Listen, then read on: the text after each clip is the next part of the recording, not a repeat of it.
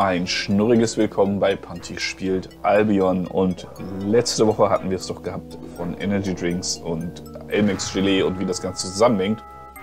Heute geht es um Limonade. Genauer gesagt um Mango-Limo. Es gibt nämlich eine Mango-Limonade, die ich kenne. Ähm, und das ist Rubicon Sparkling Mango. So, tatsächlich ist damit die Geschichte erzählt. Ähm, oder beziehungsweise ist damit die wichtige Information erzählt.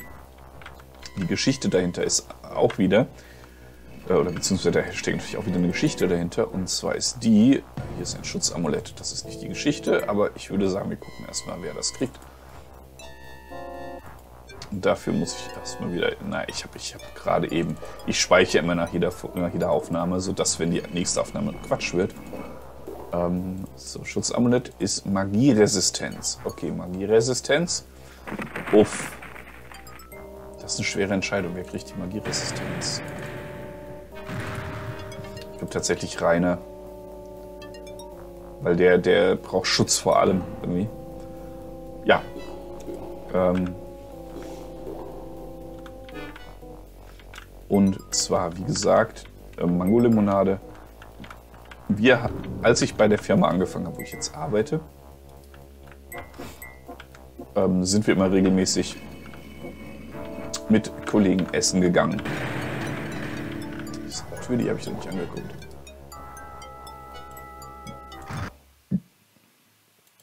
Mann, habe ich Luft im Bauch. Entschuldigung. Ähm, wir sind immer essen gegangen mit Kollegen und dann gibt es so einen kleinen, oder gab es so einen kleinen Bereich. Ach du Scheiße.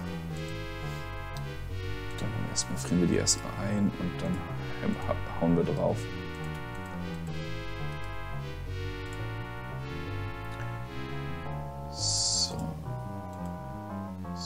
Verteidigt werden. Der Blitzstrahl bringt nichts, der Feuerregen aber wahrscheinlich. Weil der Feuerball bringt was. Äh, kann natürlich sein, dass er die jetzt wieder auftaucht. Ich, hätte ich nach hinten machen sollen. Naja, wurscht. Das ist, das ist so ein Food wo so lauter kleine Stände sind. Unter anderem war da so ein ähm, Thai-Stand, so ein Thai-Container. Und bei dem gab es Rubicon Sparkling Mango. Da habe ich das zum ersten Mal entdeckt. Das sind auch kleine Dosen. Ich habe es bisher nirgends anders gesehen. Also wenn ich es gefunden habe, war das immer in Dosen. Ähm, auch nicht so schön eigentlich. Die Kisten, die sind tatsächlich sehr magieresistent. Scheinbar. Also zumindest nehmen sie auch hierdurch nicht viel Schaden. So. Dann Dornschlinge 7. So.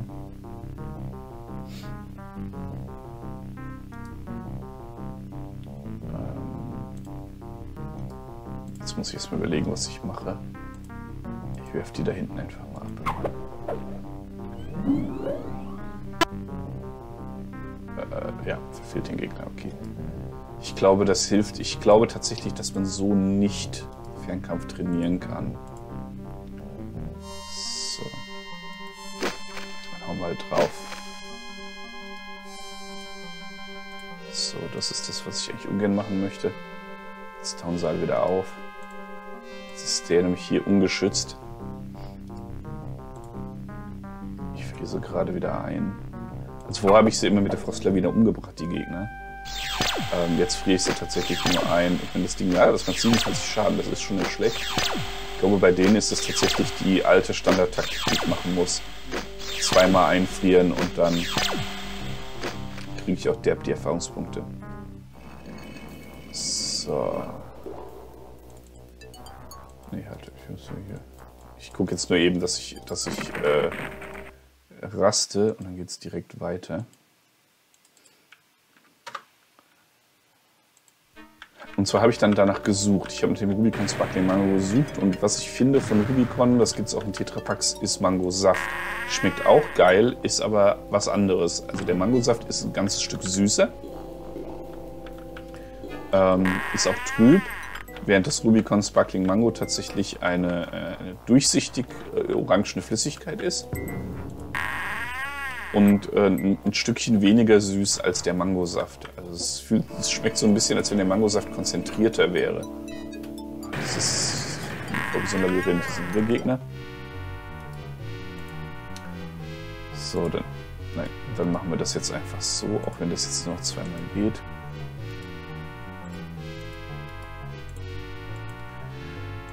Ja, und seitdem suche ich also danach, dieses Mango zu finden. Jetzt hatte mein Mitbewohner, äh, normalerweise gehen wir immer zusammen einkaufen, immer freitags in, im Globus. Und ähm, auf der anderen Main-Seite, in Dörnichheim, oder ich weiß gar nicht, ob der Dörnich, also zumindest in Maintal. Und ähm, jetzt bin ich ein wenig verwirrt. Einen kleinen Augenblick.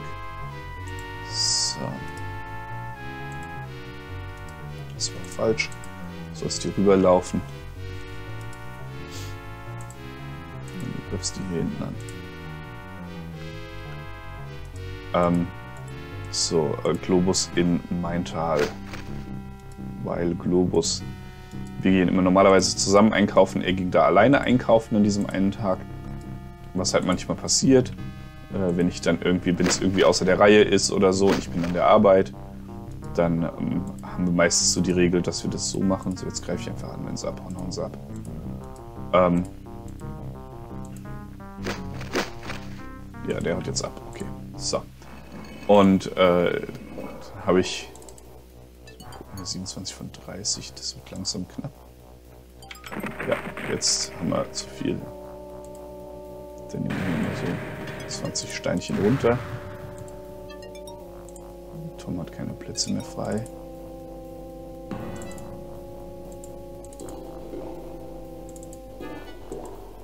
Ich es jetzt gegeben? Rainer, oder? Ja. Nicht schlimm.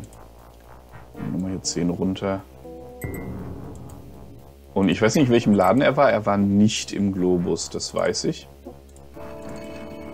Weißt du was, dann der Tom einfach die alle. Und schließlich eh 102 Kilo tragen, von daher. Ähm, jetzt einfach alle rüber. So.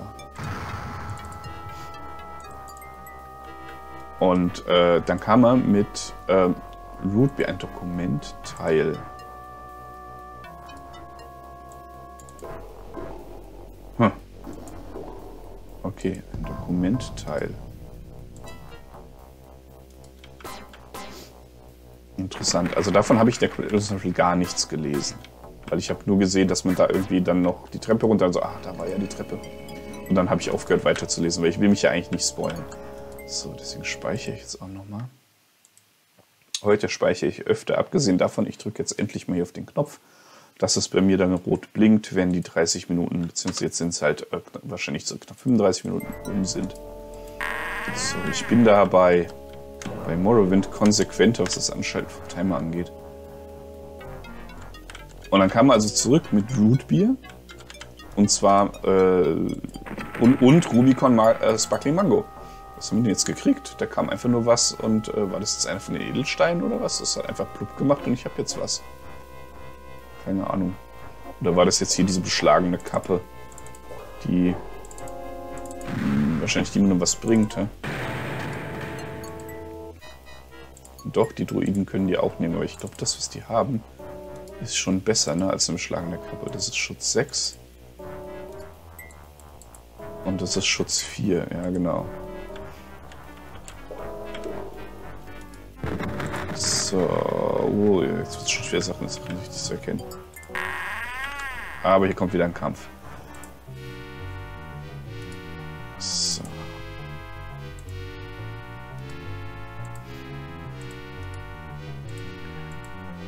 Und zumindest war da eben Rubicon Sparkling Mango, Mango dabei, weil es ein Importladen war, waren auf den Produkten Aufkleber drauf mit dem Namen des Ladens.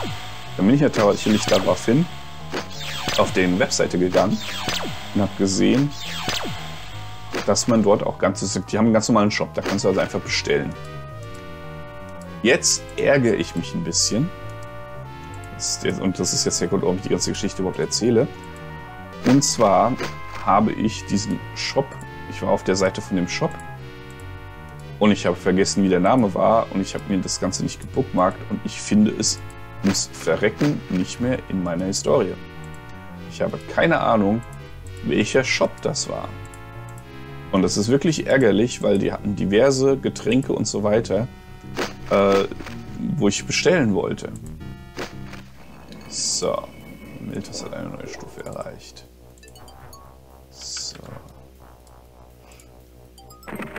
Dann haben wir noch mehr Getränke. Tom hat keine Plätze mehr frei. Ist das nicht hier? Ah ja, mhm, okay. Die, die, die, die, der Automatismus funktioniert nicht, wenn... Okay, das ist gut zu wissen. So, das wusste ich wahrscheinlich schon, hab's nur wieder vergessen. Ähm ja, ziemlich ärgerlich, dass ich halt äh, nicht mehr weiß, was das für ein Laden war. Ich bin mir sicher, der Name fing mit T an. Aber tatsächlich würdet ihr mir einen großen Gefallen tun, selbst wenn das Ganze jetzt irgendwie ewig her ist, äh, wenn ihr jetzt das Video guckt, ein Jahr oder so, nachdem das, nachdem das rausgekommen ist, ist es im Endeffekt scheißegal. Ähm, weil ich, abgesehen davon, dass ich jetzt keine Ahnung mehr, wo ich lang muss, hier. Ähm, ja, immer, immer rechts rum, ne, eigentlich.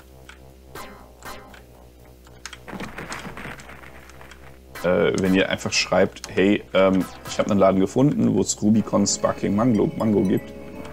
Wichtig ist eben das Sparkling Mango. Bonuspunkte, wenn es nicht in der Dose kommt. Ich eigentlich nicht so der Freund von Dosengetränken bin. Davon abgesehen. Und ja, es kann gut sein, dass ich jetzt so halb im Kreis laufe. halt gerade die, die goldene, die goldene Labyrinthregel. Laufe immer an der rechten Wand lang. Ich guck mal eben, ob da ein Zirkel drin ist. Nein! Ich bin hier unten raus. Sehr schön. So, dann drehen wir uns rum. Und dann müssten wir hier hoch, wenn ich mich nicht irre. Und dann rasten wir nochmal und dann gehen wir dahin, wo die Spinner sind. So.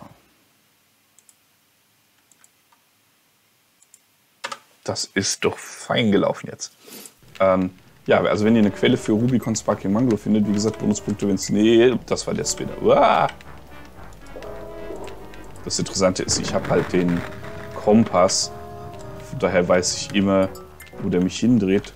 Das einzige Problem ist wahrscheinlich ähm, diese, dieser Feuerball. Jetzt ist schon wieder irgendwas einfach in mein Inventar gegangen, ohne dass ich sehen konnte, was.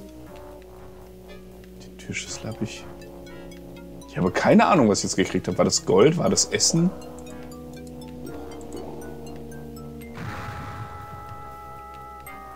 Ich nehme an, dass sich dieses Spezial, also der Feuerball, dass es sich hier so durchbewegt und ich muss jetzt gucken. Also, hier ist kein Spinner. Was? Gelbes.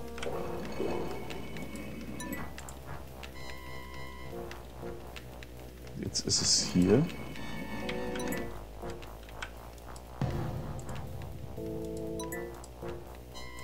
Mal gucken. Das sieht ein bisschen so aus wie das, aber auch nicht ganz. Es kann sein, dass da ein Goldstück gemeint ist. Ich habe es schon wieder vergessen, wie viel ich meine. Jetzt mal 81,9. Achtung, jetzt ist das letzte. Nee, ist es nicht. Okay. Hier müsste ich ohne Spinner durchkommen. So, 81,9. Ja, es ist einfach Gold. Okay. Okay, jetzt würde ich mich nicht wundern, wenn das Spezial jetzt auf mich zukommt. Ich hoffe, dass es hier dran vorbeigeht. Ja, genau. Ich nehme an, dass das immer, wenn es gegen irgendeine Wand knallt, sich dreht und durch die Spinne auch nochmal beeinflusst wird. Genauso wie ich auch gedreht werde durch die Spinne. Gucken mal, jetzt geht es an mir vorbei. Jetzt müsste es, ich erwarte, dass durch den Spinner jetzt entweder hier unten rumgeht oder hier oben rumgeht.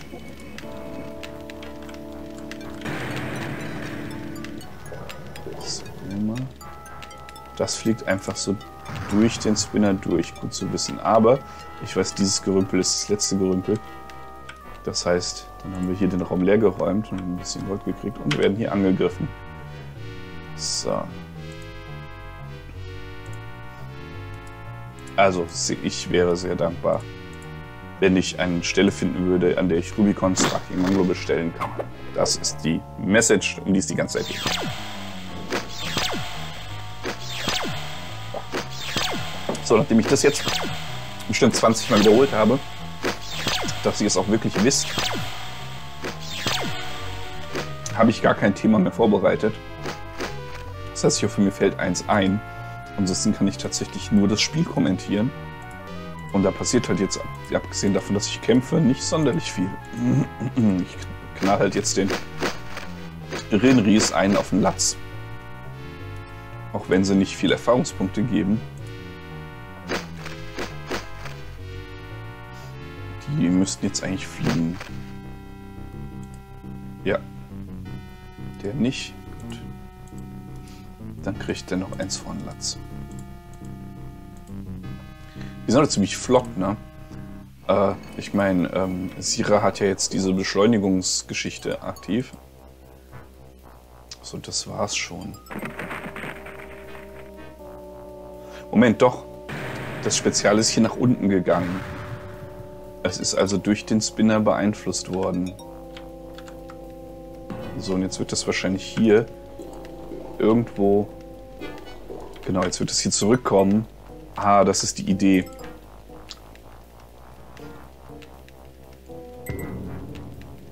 Okay, das ist doch halb zufällig. Weil wenn es hier jetzt unterwegs ist,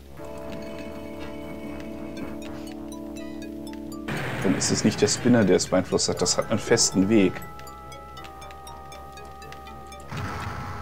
Jetzt kommt sie nämlich hoch und dann wird es jetzt an mir gleich vorbeikommen.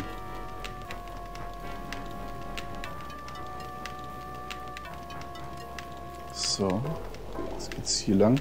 Und hier will ich jetzt gleich runter. Und das wird jetzt hier rauskommen und dann von mir weggehen, wie es vorher war.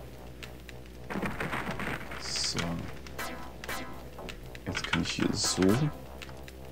Das ist jetzt dieser untere Bereich, wo ich auch durch muss, weil ich sonst in die Spinner reinlaufe. Und die sind wahrscheinlich dafür da, wenn du den Kompass nicht gekauft hast. Weißt du nicht, in welche Richtung du guckst. Ähm, das gibt es tatsächlich in anderen Spielen ist das ein ziemlich übliches Ding. So, dann schauen wir jetzt mal, ob das uns jetzt hier hilft. Dann speichern wir nochmal Gefahr. Und zwar haben wir jetzt das, äh, die neuen Amulette. Und dann schauen wir mal, ob wir jetzt das Amulett der Stärke nehmen können. Wir aktivieren wohl immer noch die Falle. Aber ob wir jetzt einfach durchlaufen können. So, und jetzt gucken wir mal, wer das Glück hat. Das war Meltas.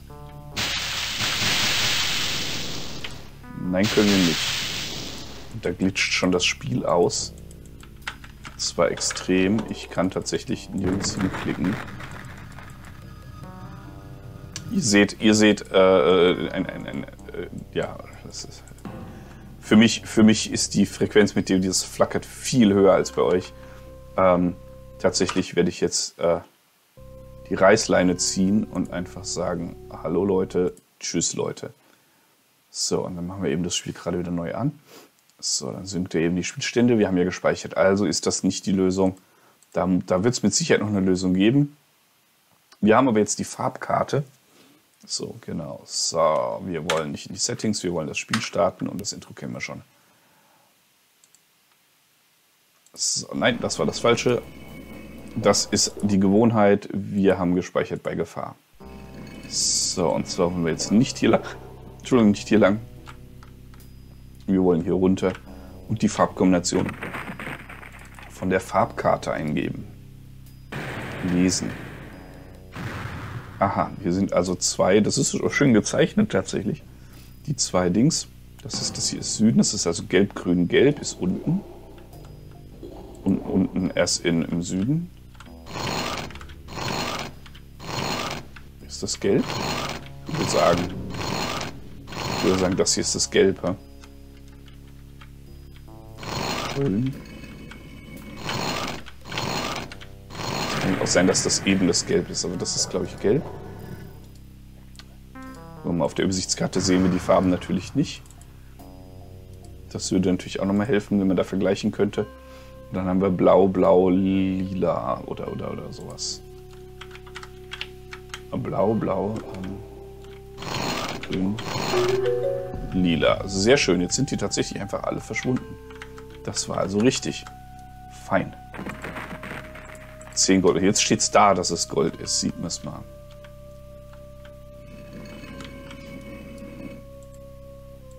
Nochmal Gold.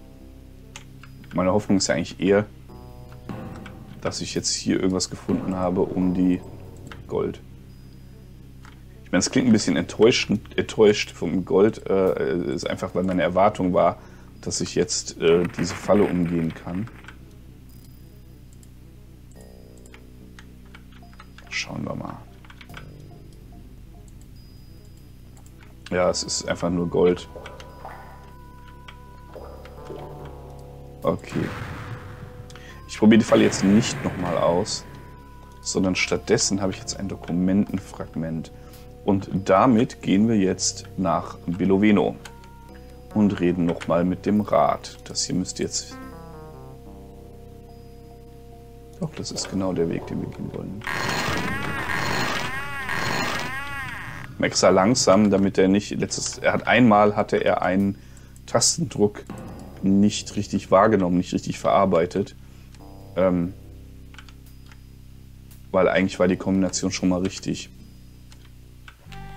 Deswegen mache ich es extra langsam. So. Dann schauen wir doch mal. Das ist natürlich mitten in der Nacht. Dann kann ich da drin einfach warten. Nee. So, dann ist es 12 Uhr mittags.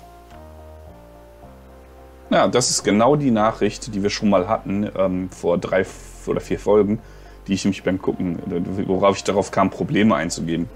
Hm. Ich glaube, hier bahnt sich Ärger an. Wenn ihr einverstanden seid, können wir versuchen, mehr über das Problem herauszufinden, indem wir öfter mit allen wichtigen Leuten der verschiedenen Dörfer und Städte reden. Vielleicht können wir ja dann vermitteln. Sollten wir etwas Positives bewirken, können wir bestimmt Leute finden, die uns weiterhelfen. So, und diese Meldung hatten wir und haben danach dann Ach, Wasserfall, okay, ist da rechts. Äh, und haben danach dann Denken, Panti, Denken. Wir sind danach nach Srimalina hochgelaufen. Das war das, was ich sagen wollte. So, jetzt passiert das Ganze genau den anderen Weg. Wir laufen zurück nach Biloveno. Ich glaube, das ist sogar schon hier.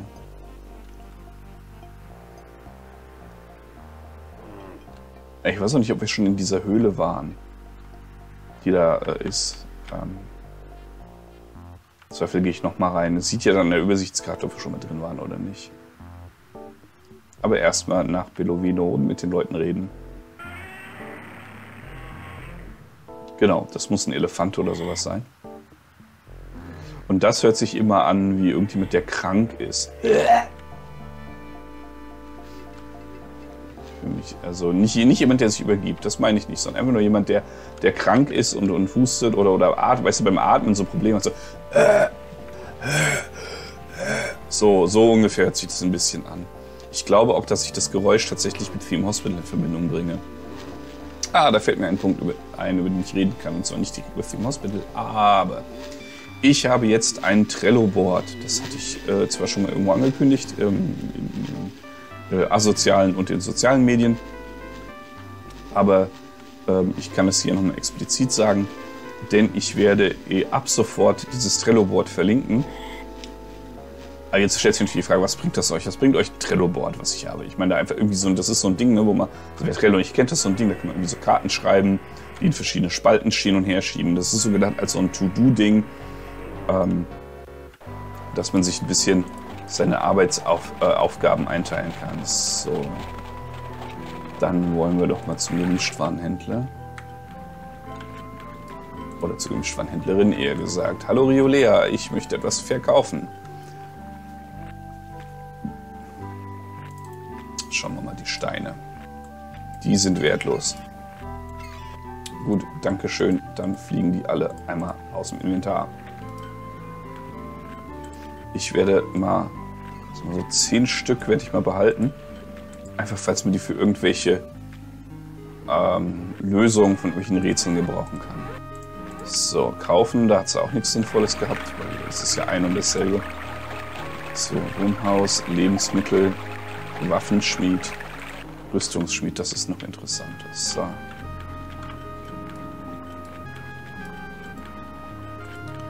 So, wir wollen, wir haben Zeugs. Wir haben einmal Zeugs zum Verkaufen.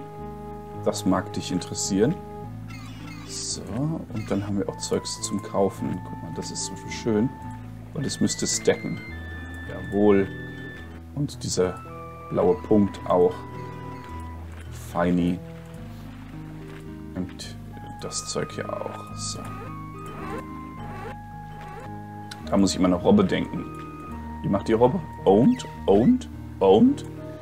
So, und dabei habe ich schon komplett vergessen, was ich erzählen wollte. Da, ach ja, das Trello-Board, genau. Also Trello ist, ist so, eine Online, so ein Online-Dienst, wo man sagen kann, hey, ich mache hier mir meine, meine To-Do-Listen, kann da verschiedene Spalten anlegen. So in, in, wenn man im Team arbeitet, hat man dann oft so eine Spalte für Sachen, die zu machen sind, Sachen, die gerade in Arbeit sind und Sachen, die fertig sind. Ne? Dann zieht man die so von links nach rechts hin und her und kann halt sagen, der die, die Person macht das gerade. Ich habe mir Spalten gemacht. Einmal so generelle Dinge, die ich machen muss. Da ist zum Beispiel äh, auf, auf dieser, dieser Liste ist zum Beispiel so eine Karte, die sagt, hey, ähm, du wolltest doch, oder beziehungsweise, hey, ich wollte doch meinen DOS-PC fertig zusammenbauen. Weil ich manche DOS-Spiele, äh, wie zum Beispiel Dunkle Schatten, funktionieren weder in Emulation noch in der DOS-Box richtig. Also Emulation weder, weder in der DOS-Box noch in der vir virtuellen Maschine richtig. Und deswegen habe ich mir gedacht, ich nehme einfach den echten DOS-PC. Ich habe hier noch eine entsprechende Hardware. Trinke eben mal schnell einen Schluck.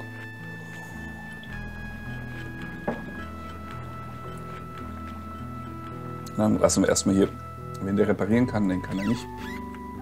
Ich komme erstmal zum Waffenhändler und reparieren.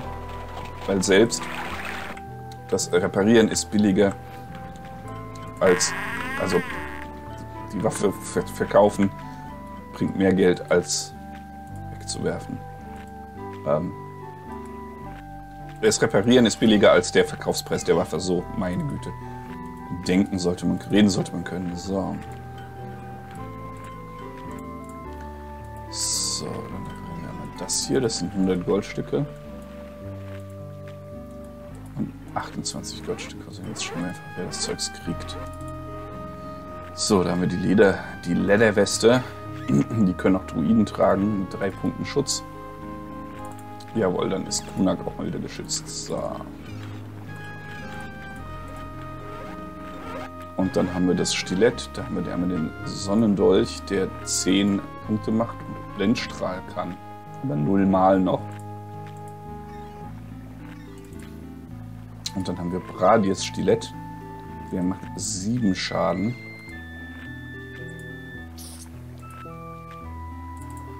Also nimmt er natürlich den Sonnendolch. Ach guck mal, hier sind noch ganz viele Steine. Ja, die schmeiße ich für König sind auch wegschmeißen muss. Sie macht auch 8 Schaden. Dann gibt es nur eine Möglichkeit, einen Grund, dass ich das Bradis Stilett verwenden sollte. Und zwar, wenn es irgendwie einen Angriffsbonus, hier einen Bonus auf Nahkampf gibt. Falsche Klasse, okay, kann der Druide gar nicht nehmen.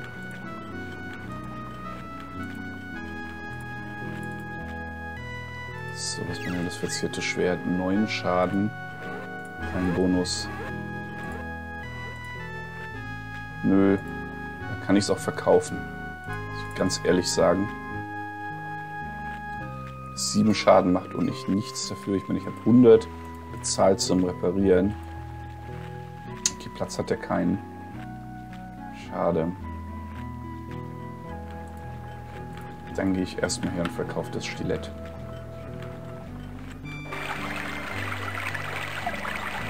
Wir jetzt mit Rüstungsschmied. Der hat nämlich noch Platz, wenn ich mich nicht irre. Eine Theke.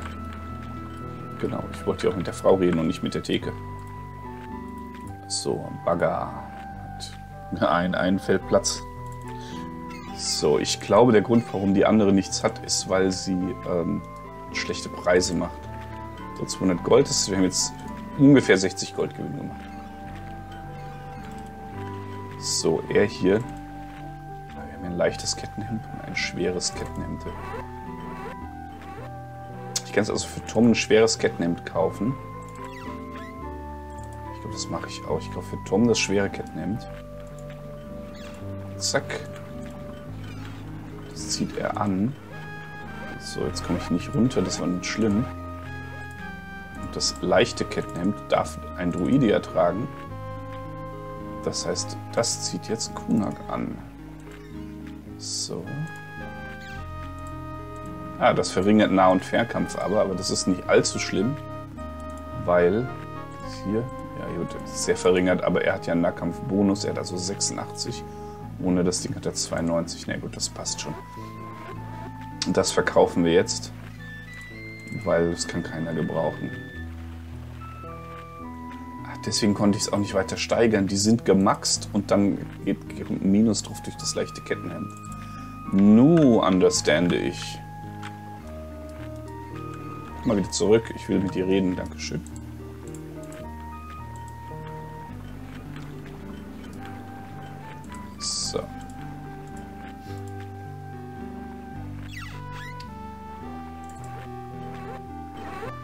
Ja, müsste noch eine Metallhalbschale nehmen. Schutz von 6. Wenn du die nehmen kannst, habe ich gar nicht geguckt. Äh, Wissenschaftler, ja. Zum Himmel wieder Rüstung. 5 Schutz. Ah ja, und die wird wahrscheinlich kein Malus machen. Jetzt könnte ich natürlich die Kettenhemden untersuchen, ob die noch einen Malus auf Magie geben. Das sehe ich jetzt hier natürlich nicht. Ah, ich glaube, das ist okay so. Feuerball und Licht als Zauber noch in der Tasche.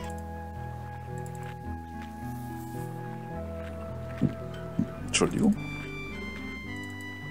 Ich kann jetzt nichts von einem Charakter an den anderen geben. So. Jetzt hat er seine Pfeile wieder beisammen. So, haben wir das geschafft. Hier, ist einiges an Platz dazu gekommen. Sehr fein. Und sind reine.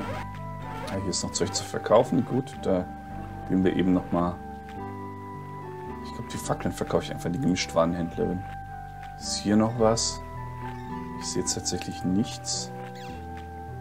Okay, die Halskette. Gucken, hat jeder was an? Ja, die Halskette kann ich noch verkaufen. Ich, glaube ich, auch bei der Gemischtwarenhändlerin. Äh, achso, nein, nein, es geht nach Süden raus.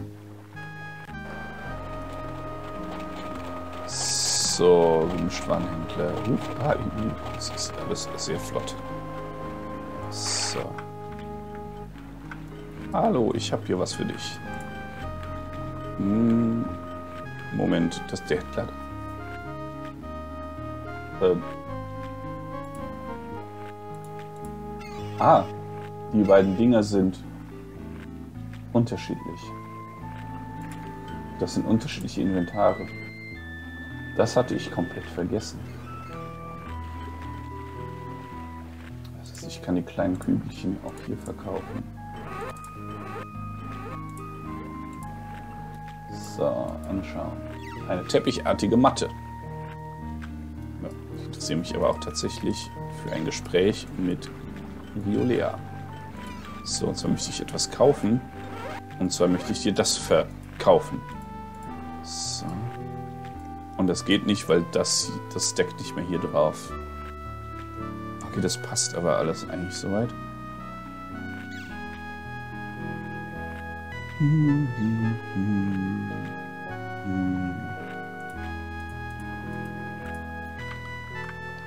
Ich jetzt sage, ich möchte verkaufen, dann ist ihr Ding, ich glaube, dann gibt sie mir auch schlechtere Preise. Ah, ich, ich time das Ganze hier schlecht. Komm. Wieder runter. Die, die, die laufen also randommäßig. Das ist ein bisschen... Also hier hätten sie es so machen sollen, dass die ähm, einfach stehen bleibt, weil du willst, du gehst ja nur dahin, um was zu verkaufen und zu kaufen. Sieht zwar weniger schön aus, aber ähm, ist halt einfach spielbarer. So. Genau. So, ich weiß, das mag jetzt nicht die optimalste Lösung gewesen sein, aber im Zweifel können wir auch noch Geld grinden. So, dann speichern wir eben nochmal. Und so nehme ich diesen Spielstand und das heißt, das mache ich normalerweise mir auch schon, wenn die Kamera nicht mehr läuft, das heißt, dass ich die Folge für heute beende, auch wenn hier bei mir noch kein rotes Licht blinkt, aber hier stehen drei Minuten und ich weiß, ich habe den Timer erst verspätet angemacht. Das heißt, ich drücke schon mal wieder auf Stopp. Ähm. Okay. Ähm, und verabschiede mich von euch. Ähm, ich war eben etwas willig auf Stopp gedrückt und pausiert und nicht auf die 30 Minuten zurückgestellt. Ähm, und ich wollte jetzt nicht neu einstellen, deswegen lasse ich jetzt doch nochmal ablaufen. Aber ich verabschiede mich schon mal von euch. Und wir sehen uns nächste Woche wieder und dann gehen wir in den Rat und sprechen mal die Leute an und mal schauen, ob jemand uns zu dem Dokument was sagen kann. Das wäre nämlich ziemlich geil. Okay, also bis dahin, bis nächste Woche. Ciao, miau.